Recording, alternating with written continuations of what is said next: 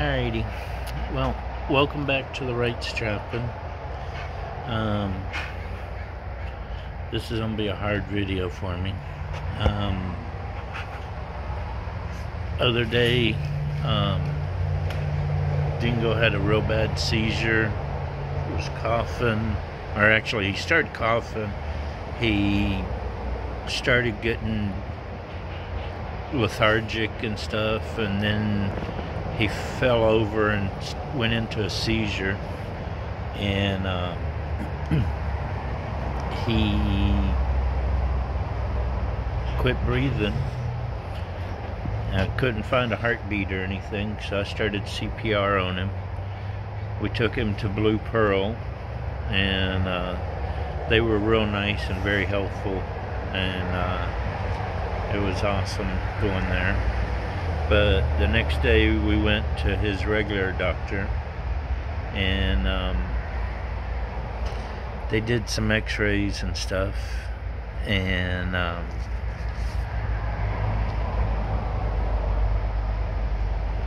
he has cancer um, in his liver, his heart, or not his heart, his um, his liver, his lung, and his uh, pancreas. Um,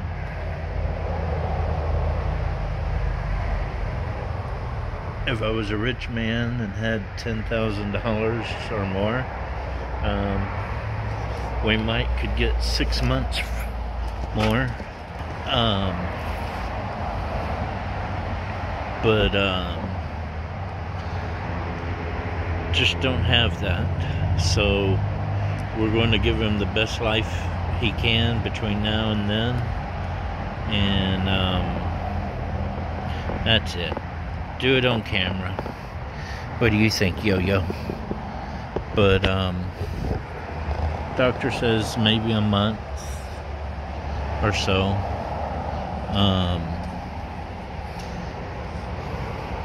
so if you want to send him a treat or something for him to enjoy for his last little bit, um, you're welcome to.